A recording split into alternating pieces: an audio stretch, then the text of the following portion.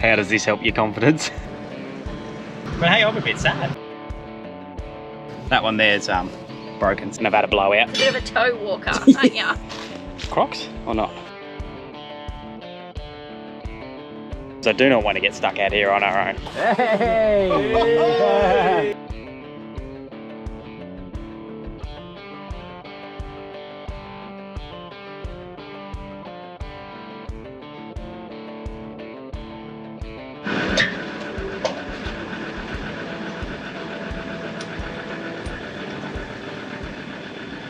Alex is just connecting the van. Oh my god, I can't see anything out of those. What's happened there?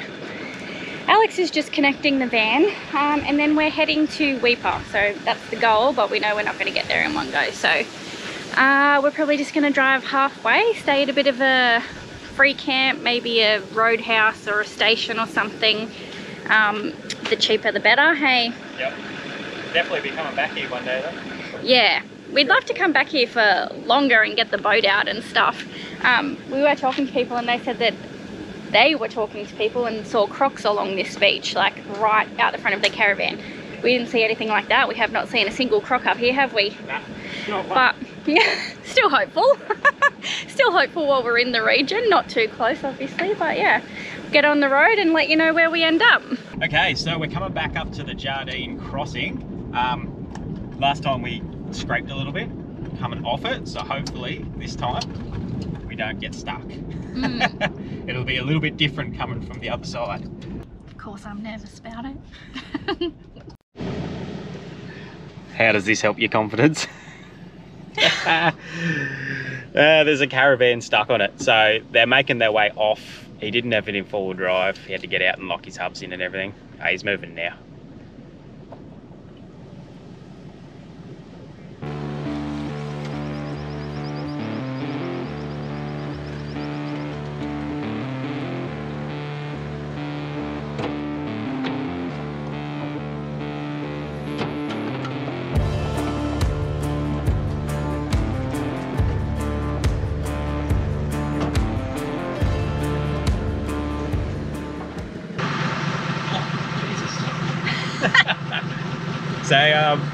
Ferry driver, he, he's a top bloke. He just came and had a chat with us. We got on. We didn't scrape at all. I didn't hear anything. No. Just a little bit of guidance from him. You probably see him out of the front camera. That's awesome. He's just actually going to have a chat with them behind us because he didn't tell them to come on an angle. But Yeah. so if you come here and you got a long rig, even if you don't have a long rig, that short one in front of us just sort of really dove down because he went Mm. straight. Just snake your way onto it.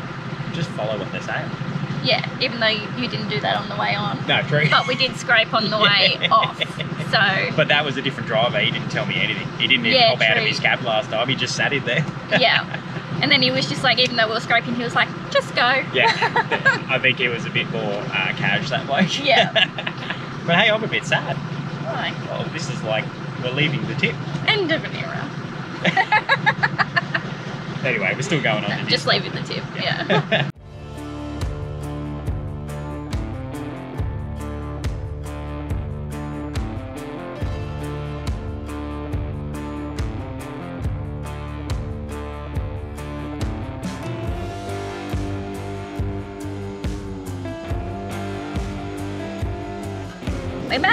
There we go. Must be a little bit different with the tides too, because that was even harder getting off the other side. So um, yeah, once again, bit of guidance from him. All good.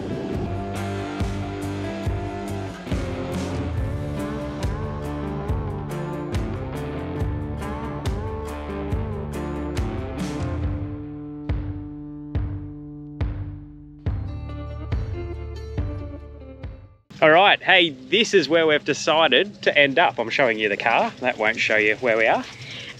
Right here, got some beautiful big trees. Uh, Moreton Telegraph Station. Uh, south, how far do you reckon it is from Bramwell Roadhouse? About 30 k's. Yeah, 30 k's from Bramwell Roadhouse.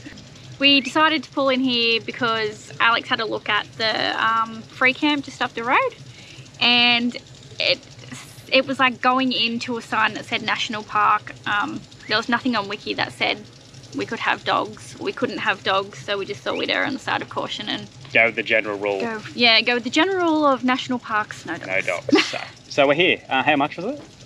$50 for the night. It was 50 bucks, was it? 20 bucks an adult, $5 a kid. Hey, it's Cape prices, it's what you got to pay. Like, Yeah. Anyway, look, the whole joint basically to ourselves. There's a few other people rocking in. There is a tour bus, but um, look, this is fine. I've got to lay on the ground to fix something under the caravan later, so bit of nice grass will be good for that. Right, so I said I've got to get under the van to fix something. It's only small, but it's got to be done regardless. Ugh. So just under here, the rocks have smashed my wires for the uh, electric brakes on this hub. The others are okay. They're all good.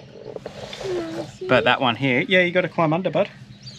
That one there's um, broken, so I always carry some gear. So I got some wire strippers, side cutters, and just a couple of the um, don't know what they're called, screw-in joinery things. you can tell I'm not a sparky. Anyway, I'll fix that back up and then we'll have brakes to all wheels again.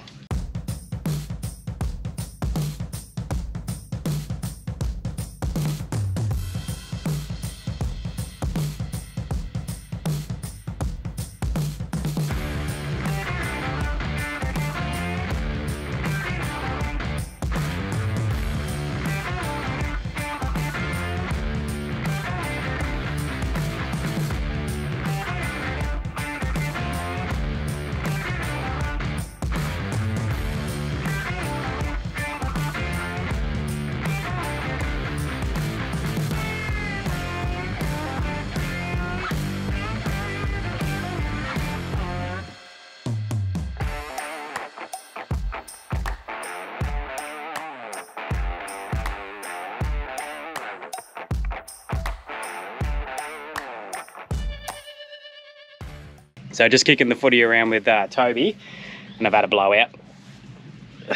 I cannot tell you how often I blow thongs out, but always come prepared. always got a spare pair, don't I? I don't know what he does to them. I can have a pair of thongs for like years.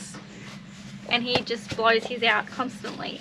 Same with I don't know. Yeah, sunnies and thongs, I just go through them. Like, I don't buy good pairs of sunnies, I buy cheap ones because I just break them all the time. I don't know how. Thankfully, we got given those spotters, but he literally saves those for fishing. Yeah, so yeah, He this- doesn't ruin them. The spotters are too good. They're too nice, so I use them for fishing and fishing only. Um, let me know thongs that are good that last. Yes. I Because um, he really he wears out the toe. Like he's a bit of a toe walker, aren't you? I'm a Neanderthal and I walk on my toes. I don't know. But anyway, that's where you wear it out. He ends up with like a hole in his toes. but seriously, if you know a good um, brand of thong that doesn't blow through, because this is what I keep doing, I keep having a typical plugger blowout. So let me know if there's good ones. I guess we're gonna have to spend some more money. I keep getting cheap ones. Yeah, well, it's the same cost, isn't it? If you're going through them every month. Chuck it in the comments. Good thong brands. Hey, morning everyone. We've got a beautiful day today. We're going to go over to the shop slash office here. Um, apparently they got a little bit of a museum out the back, which you said you assume it's about the telly or about the cake. Yeah, well, because this is the Moreton Telegraph station, so I assume it's got something to do with the telegraph. All right. We'll head on over and have a look, and then I'm going to ask them about the little barra hole. Apparently, there's a little barra hole to fish out, and um, yeah, if it's named that, surely we've got a slight chance.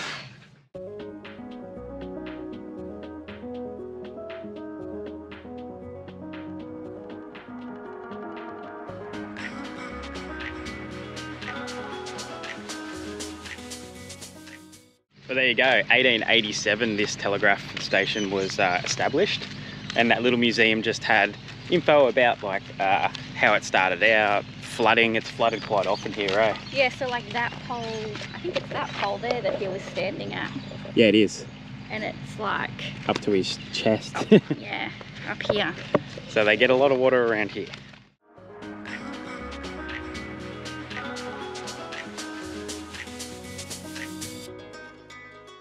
Okay, so this is the barra hole, guys. It's pretty shallow by the looks of it.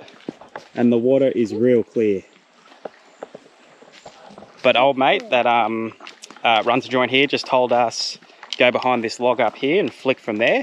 But also there is a salty around, so just be careful. So kids are back from the water's edge. No, thank Maybe you meant that log there. I don't know. I don't want to get too close to the edge. No, I'm a bit nervous. I want to say right here. This one here. He said he came down this morning and checked it, so should be all good. Hey, have a look at this here, guys.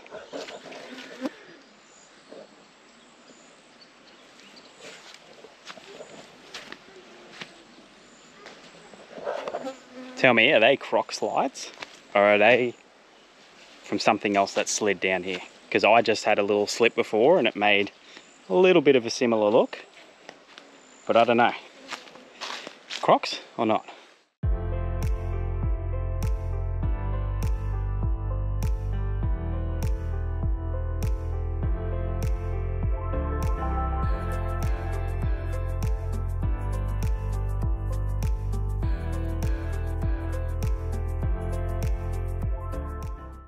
So where we're fishing right now, this is the Wenlock River. Now back before they built the bridge or the crossing, you used to have to get your cars on, it was pretty much a heap of 44 barrel drums, a little um, hand pulled barge. And um, that's the only way you get, get over. There's photos of it in the museum. It's pretty cool. And then you can still see the concrete. Um, it's like a big footing with a um, metal piece on it so that, like a hook, so that they can pull it through. So that's pretty cool. You used to have to cross this to get up to the cape. Now, obviously, you just drive across. but um, what else were they saying, Erin? It, it, this breaks its banks once a year. The wet every year. So that's like, if you have a look at how high those banks are, that's a lot of water. No luck on the fishing. Nothing. Surprise, surprise. It felt real sketchy though. Like it wasn't, I don't know, not too comfortable being right on the edge. yeah, no. Kids have bailed. They're both cranky. The flies are next level annoying. I need to come down on my own sometimes. When we've got more time, we're supposed to be out of here in five minutes. Yeah, so that's the problem. we've timed this really well. But oh well, keep trying. We'll go to Weipa and try to catch some fish there. Oh, mate just hit us up on the way back and said, How'd we go? Do we have any luck? We go, Nah, nothing. he said to me, Aaron, he goes, Oh, that's unusual. Usually always get something out of there. I said, Nah, it's not unusual for us. Here we go, guys. We're in Weipa. Um, it was a bit of a shorter trip than I thought. I thought it was a bit longer than. No, when I looked up maps from where we were, it was four hours. Oh. But that only took us like two and a bit. What we ended up doing is um, there was like a back road, so we didn't have to go back out to that main intersection where we showed you that stick it up sign. Yep, you can cut through Batavia Downs, I think it's called. Yeah, that's it. Um, we ended up having a passenger with us for the whole trip. Yeah. Tell them what happened. Oh, so we pulled, as we were like looking for the turn off for Weipa, there was a tour truck, like a The motorbike tour. motorbike tour truck. Um, and so we just stopped to ask them if they were okay because the guy was on the satellite phone and they had someone in the truck that had a broken collarbone uh, and needed a lift back to Weipa. Yeah, so Stuart jumped in with us. He'd been doing that motorbike tour, came off, broke his collarbone, and um, got a flight out of Weipa. So Yeah. we dropped him at the airport. Anyway, so now we're going to head into town. Now, I thought there was multiple places to stay in Weipa, but apparently there's only one. So, I don't know whether it's the filters I've got on. oh yeah, okay, Could yeah. be that, but um, one that allows dogs anyway by the looks. So we'll be heading there. We'll go see what it's all about.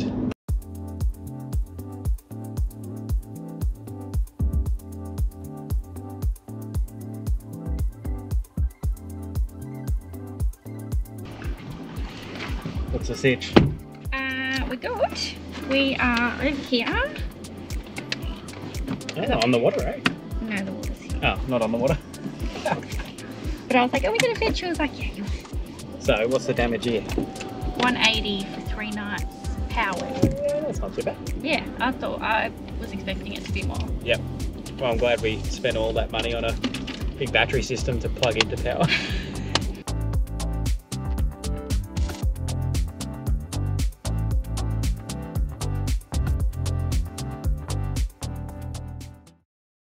guys, today we're going to check out Pennefather River. Now, I got told about Pennefather a long time ago before we left on the original lap by the owner of McCormack's 4x4. Oh. He said it was the most amazing place. And obviously we never got there. We never got to Queensland. So, we're doing it now. Yeah. So we just um we left the van in at the caravan park. You can camp out at Pennefather, but we've been given the heads up that it's very soft. Yeah, from everything I've researched, it's also, yeah, sandy track. So, Bertha's a big girl, so mm, getting out there will might be a little bit tricky. But uh, um, to get over to it, you have to cross the Gulf and Carpentaria, Gulf of Carpentaria, and um, it's the Australia's longest one-way bridge apparently. So I don't know how that works, whether there's lights on the end of it, but we'll see.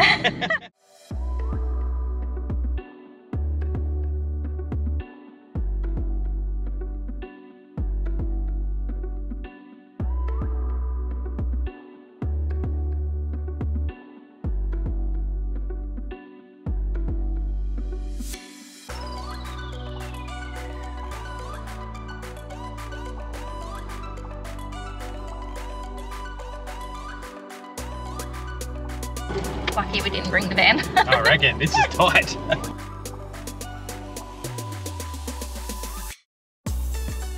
I can see the ocean, and now we're at a Y intersection. I don't know where to go.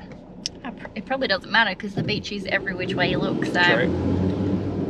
Right, so this sand is real soft, eh? So, got the iCheck deflators. I'm just going to drop them down because I do not want to get stuck out here on our own.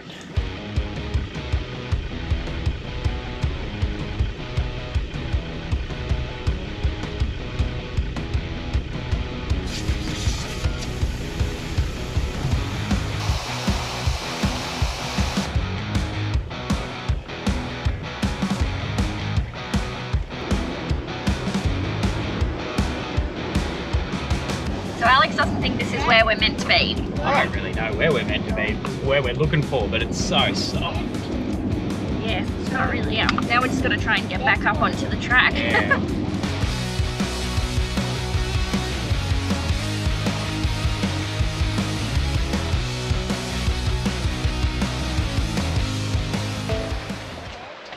Have a look at this, eh?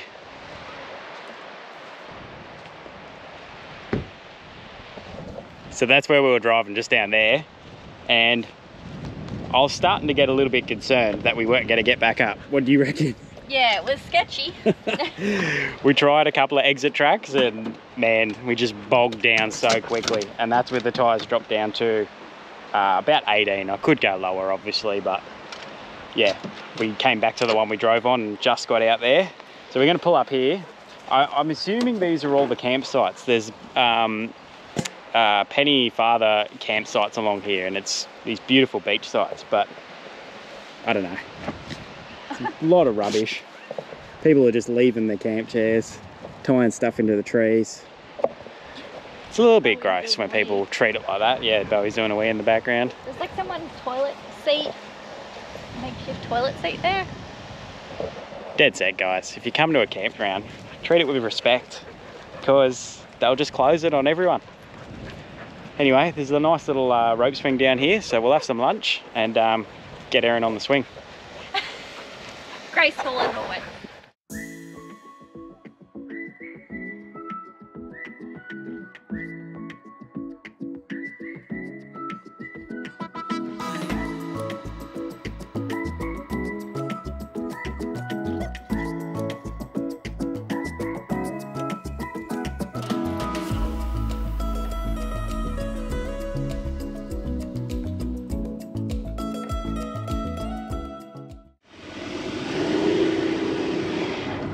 There we go. We don't have to drive back up the track. We found the signs. Yeah, because we were.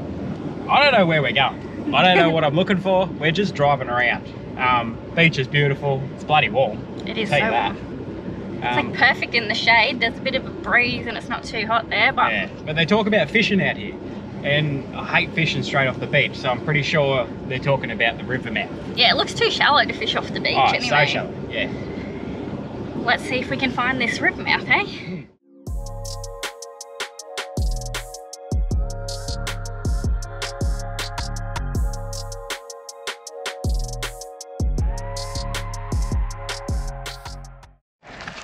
Well, we found it, didn't we? We did. Eventually. Pennefather. Um, as you come around the corner, because we came the sand dune way, there's like these old safari tents, hey? Yeah. And when first, well, it says ranger station, but it looks like there's no one there. And then, yeah, there'd be have to be 10 safari tents. And they're just fully abandoned, like, haven't been touched in a long time. So I don't know what the deal is. Whether there used to be something out here. It looks like there did used to be something Yeah. more substantial out here. Yeah, a lot of camps along the way too. They reckon a lot of locals have their own little setups out here, like tin sheds and stuff. And they um big private, no entry signs. So yeah, but anyway, this is the river mouth. That's it there. So I'm going to rig a couple of rods up. We're going to chuck them in here. See what we can't catch. Literally.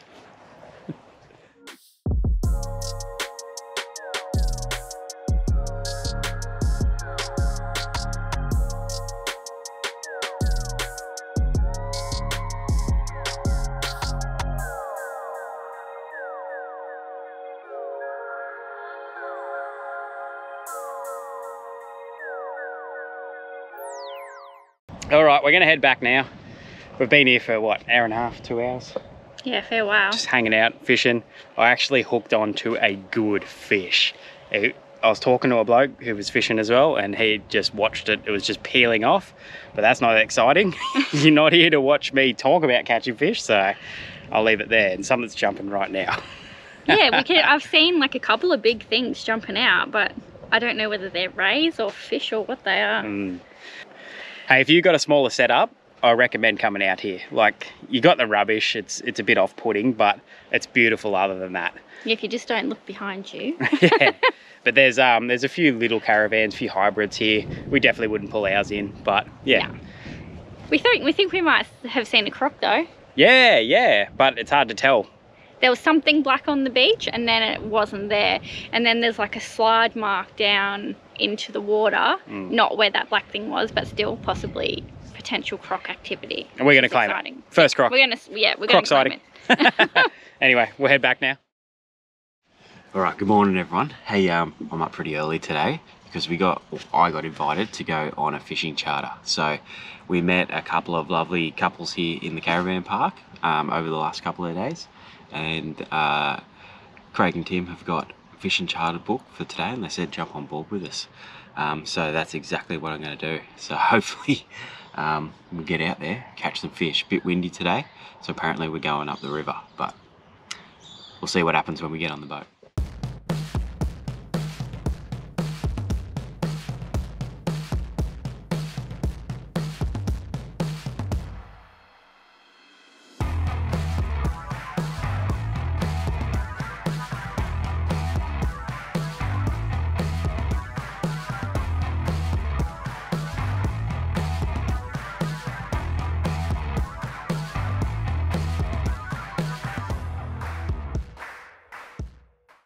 Right, guys. Hey, we're out here. We've got Craig and Tim. They've asked me to come on this uh, charter with them. We've got Chris up the back, our skipper. He's getting everything sorted out. And uh, what are we trying to get some barras, are we? Yep, bring the bar. and some muddies. They've been getting a heap of muddies. down the back. But um, it's been it's so windy. We're tucked away now. It's pretty good, but um, that's why we're going up the river instead of going out because uh, the wind is just hectic at the moment. Anyway, let's get some lines in the water.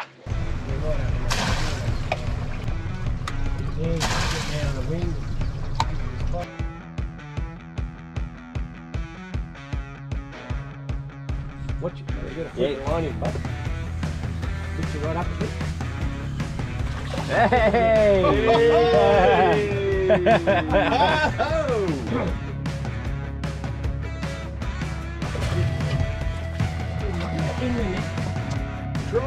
Good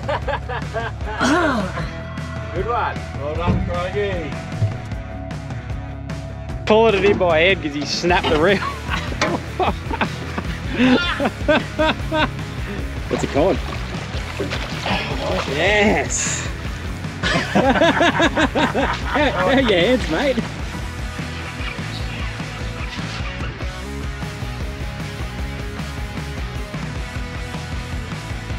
It's a.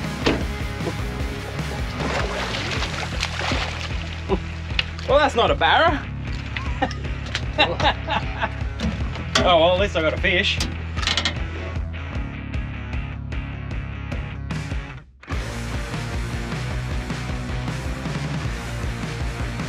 Yeah, there's some in there. One. And a fish. One monster. Go on.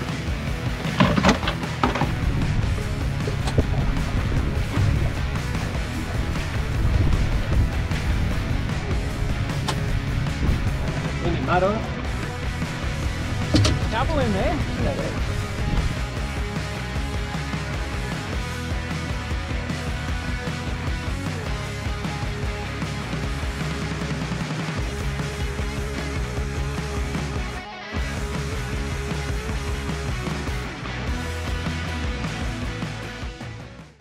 So I just got back from the fishing charter. Um, that was an awesome day.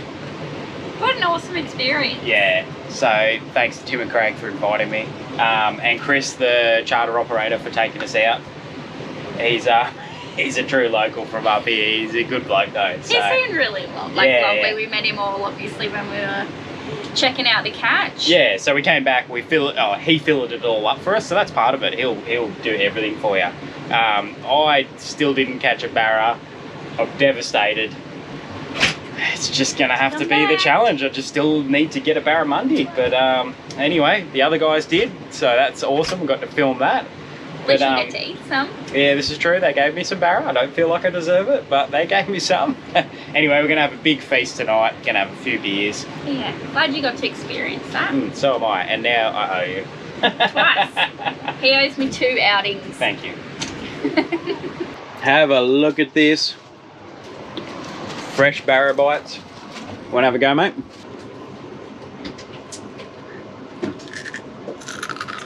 Oh, that's crunchy. The hot but but good. Can I try a bit, please? Mm-hmm. Before we take it down for everyone.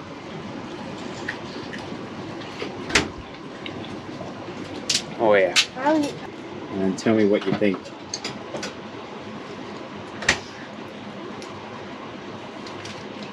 Think it's fish. Definitely is. Not that flash? I just want a little nibble. Can I have a Yeah, little I was going to nibble? say, you're going to try it? So, Erin's still a bit iffy with fish. Really? I like it. so maybe you will eat it. Maybe I will. All right, let's take it down. Yeah. See how they turn out, eh?